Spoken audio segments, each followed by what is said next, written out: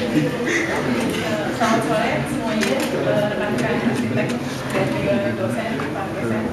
Eh, Pertama-tama eh, kita di sini mau mengucapkan terima kasih dulu karena kita sudah dikasih kesempatan untuk memberikan presentasi tentang salah satu desain kita atau proyek kita yang dilatar belakangi oleh keadaan di sekitar kampus ini sendiri. Ini kami dari arsitektur Binus, beberapa mahasiswa yang mencoba untuk ber- bergabung dalam satu tim. Ada saya eh, sebagai ketuanya, Valen, Valentina, kemudian ada Kesia, ada Sun, ada Espi, ada Liana, dan ada dua orang lagi namanya Sandra dan Berita yang kebetulan berhalangan hadir di sini. Jadi eh, proyek ini sendiri ada belakangnya. Pertama dari kampus Binus sendiri. Eh, di sini ada beberapa kampus Binus mungkin yang selain mahasiswa Binus ada ya ada lihat Nah, mungkin anak-anak sendiri juga kita lihat, eh, kita punya tiga kampus ada kampus tiga, kampus Sekdan, sama kampus Anggrek. Tapi eh, untuk sirkulasinya antara satu kampus dengan kampus lain seperti kita rasakan dan kita alami sehari-hari itu kan masih belum nyaman. Eh, kalau kalau lihat itu jalannya masih kecil, jalannya kecil, sedangkan itu begitu padat. Ini ada catatannya sendiri, jadi di tahun 12, di tahun 2011 itu catatannya yaitu ada 20 20.007 mahasiswa yang aktif ditambah dengan 992 dosen yang membuat kawasan ini menjadi sangat padat terutama eh, belum lagi di jalannya di jalanannya itu kan selain ada pejalan kaki ada mobil ada angkutan umum ada pedagang-pedagang dan itu eh, sangat padat sekali ya. Kemudian eh, jalan penghubung kampus yang lebarnya itu hanya 7 meter. Ya ini eh, salah satu fotonya eh, dari keadaan jalanan di, sekitar kampus itu sendiri. Ini yang biasanya kita lalui mahasiswa BINUS harus melalui kalau misalnya dari kampus uh, Syahdan sama Anggrek maupun dari kampus Syahdan Eh, jalannya cuma selebar 7 meter dan itu belum ditambah dengan selokan di setiap sisinya dan itu masih belum nyaman sekali ya karena tidak ada jalur khusus untuk para pejalan kemudian jalan ini dipadati oleh pejalan kaki yang tugasnya seperti Mikola Tebaja, Yuhaya Pribadi, belum lagi ada bus bus dan kadang ada metro mini yang masuk sini. Nah, tentu saja menjadi sangat tidak nyaman untuk para pejalan kaki. Eh, permasalahan yang ada di kampus Binus sendiri itu sebenarnya sebagai kecil dari permasalahan yang ada di Jakarta, di mana eh, masih kaki itu masih belum dipenuhi atau disadari oleh seluruh warga kota Jakarta.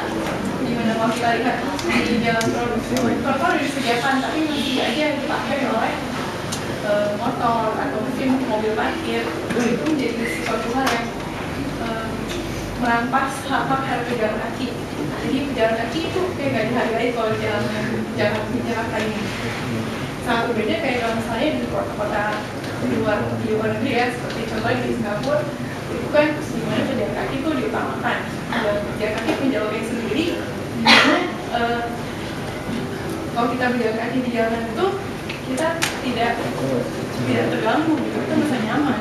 Bahkan di bahkan lebar jalannya sendiri berjalan kaki itu cukup lebar sehingga kita bisa menikmati um, aktivitas kita berjalan kaki tidak seperti di Jakarta. Jadi kalau kita berjalan kaki itu ya uh, ya kan. Walaupun terkait tercantum dalam UURI nomor 29 tahun 2009 tentang lalu lintas dan angkutan jalan. Jadi sebenarnya kita tuh punya kaki itu dilindungi haknya, ada peraturannya. Tapi kenyataannya eh, peraturan itu dilanggar. Dan ini beberapa bahkan ada beberapa angket atau komentar dari anak Binus sendiri, mahasiswa Binus sendiri via Twitter dan juga ada juga yang mengomentar secara langsung bisa dilihat komentarnya yang intinya tuh semuanya berkomentar kalau jalan antara kampus dan kampus Anggrek itu masih belum nyaman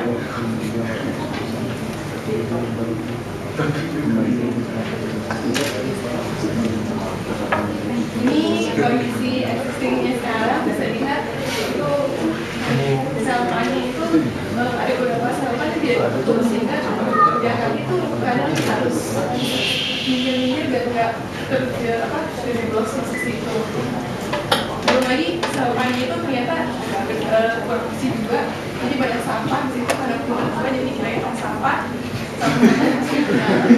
Terus belum lagi kalau hujan itu juga lumayan tergenang air sehingga harus berhati-hati sekali kondisi jalan juga di sekitar dulu juga banyak gang kecil. Itu yang di gang-gang itu sebenarnya banyak kosan dan cukup padat juga oleh pedagang.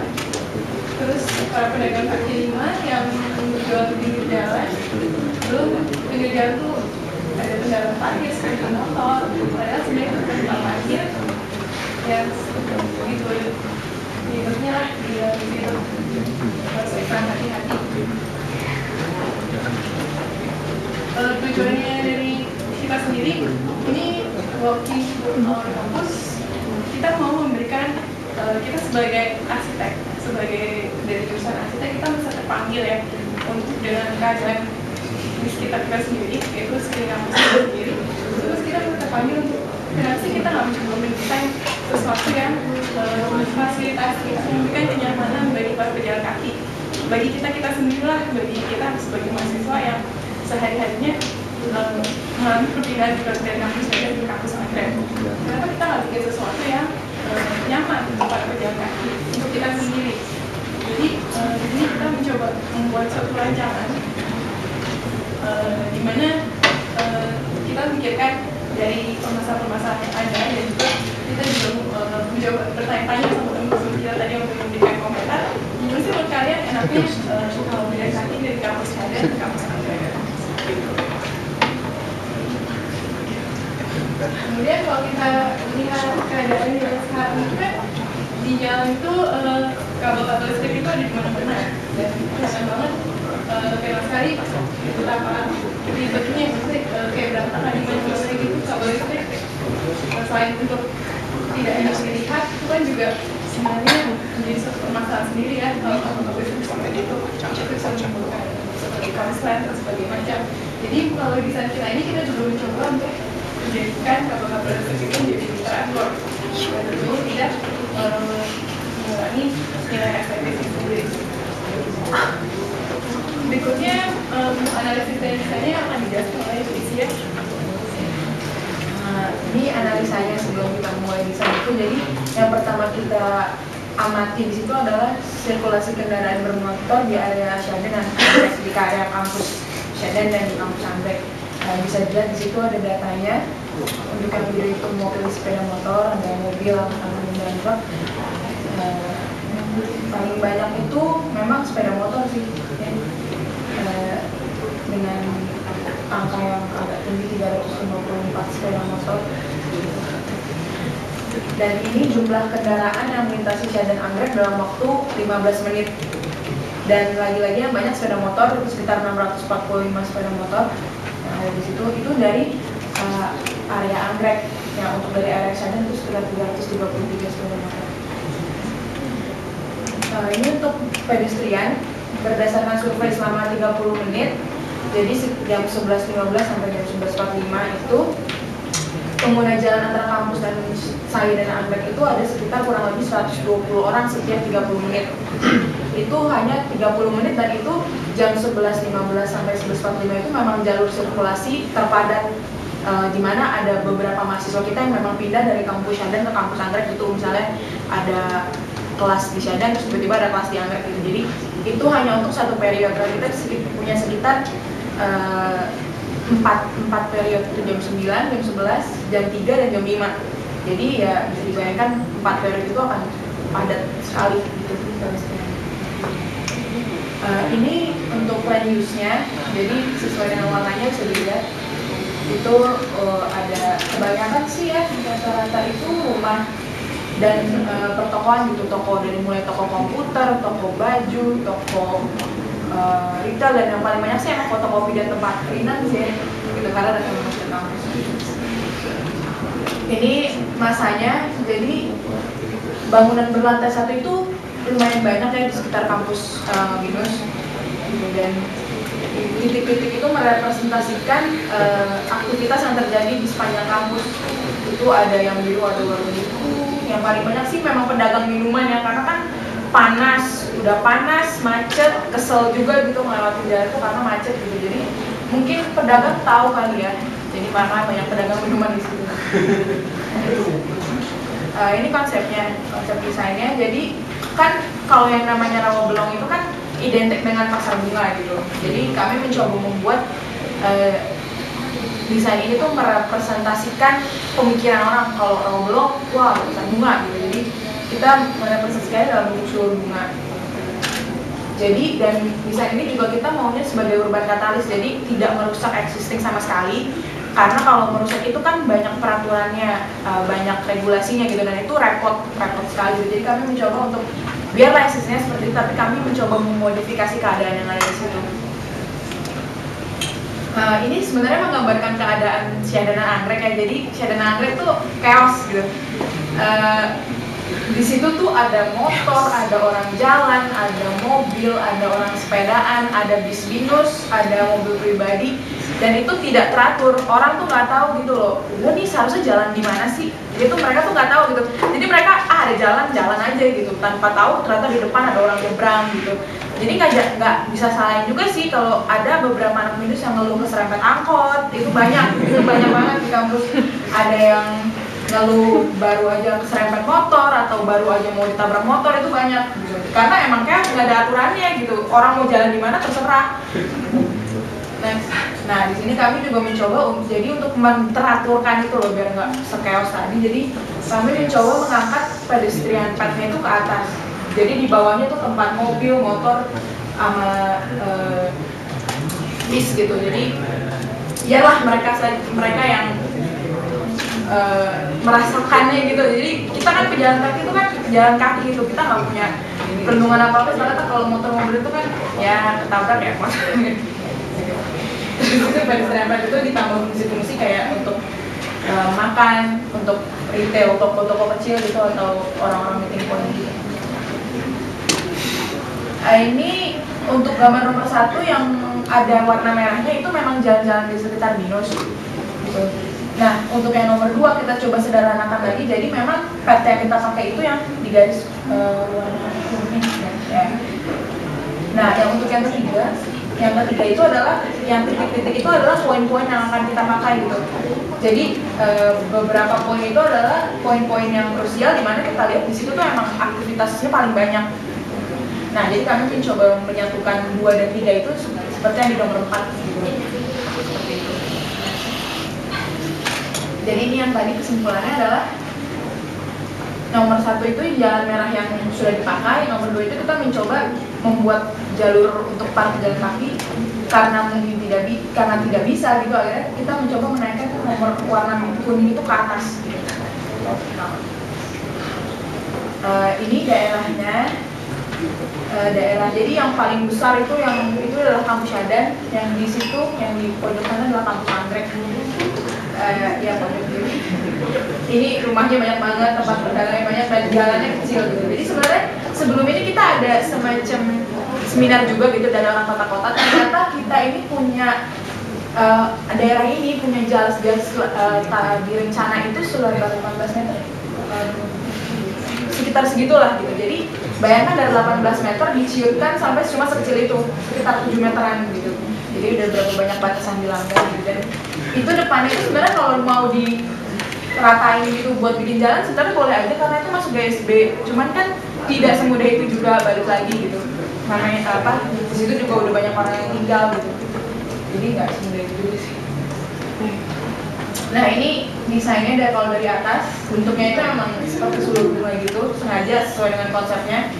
Uh, untuk poin A itu adalah uh, bunga yang ada di Shadan itu itu emang untuk uh, fungsinya itu seperti yang saya itu yang hijau itu untuk penghijauan terus ada meeting point. Emang untuk jalan kaki gitu. Uh, sama orang yang untuk uh, nyantai-nyantai misalnya untuk belajar gitu.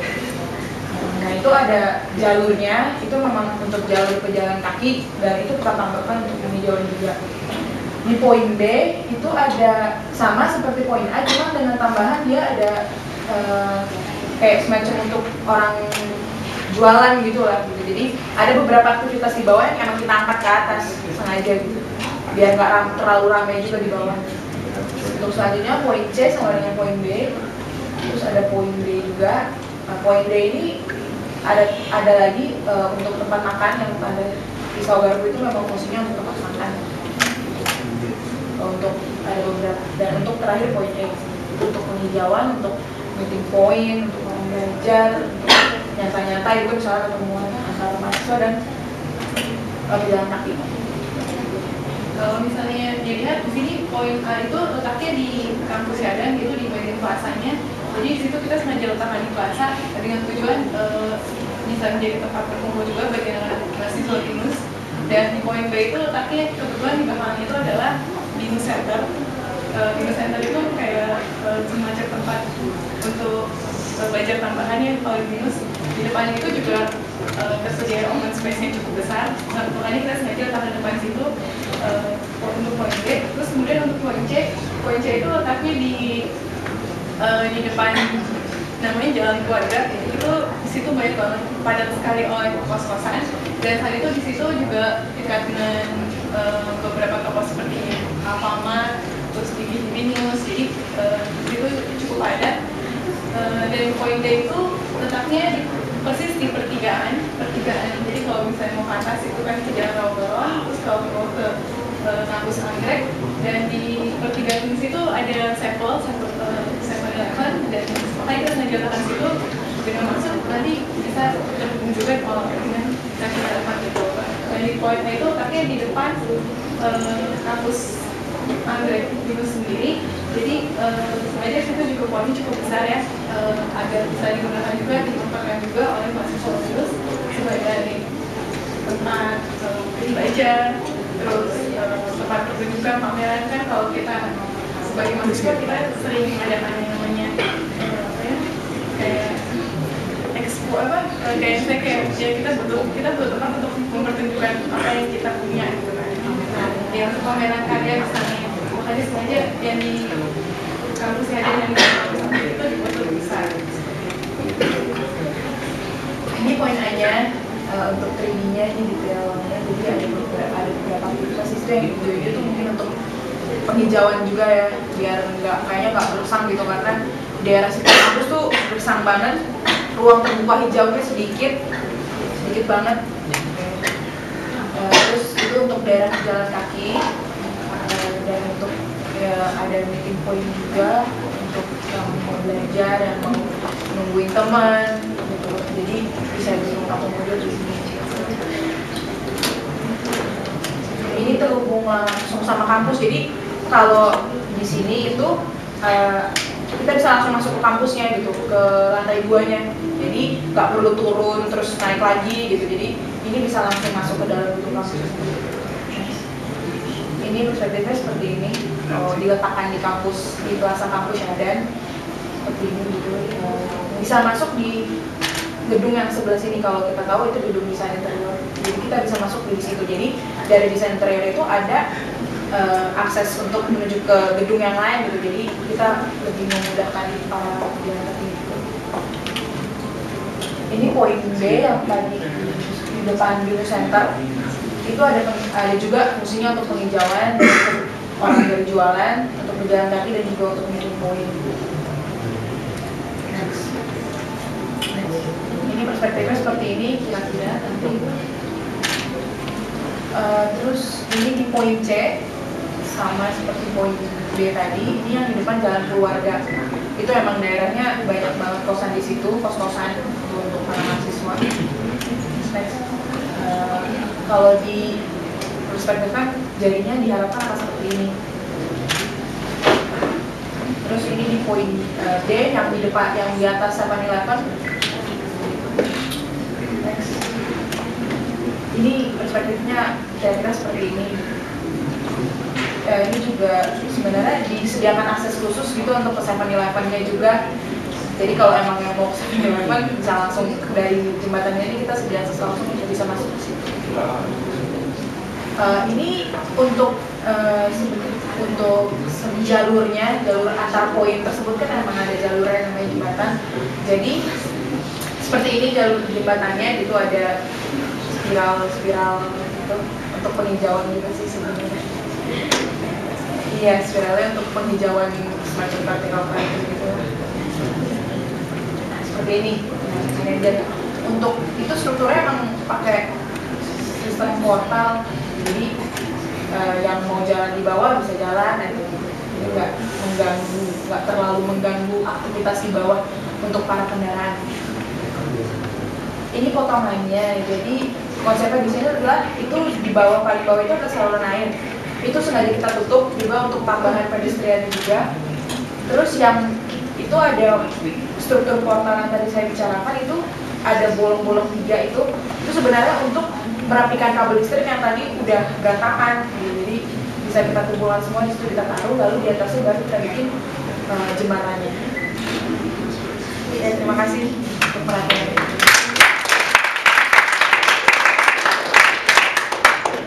Projectnya keren banget ya.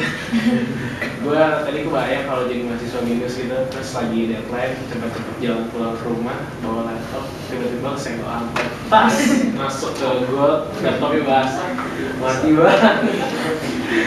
Oke, uh, dari teman-teman ada yang mau nanya nggak nih? Mereka jawab loh.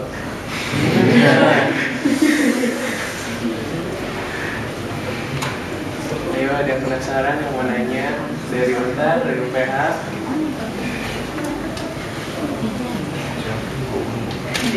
Alberto mungkin mau nambahin?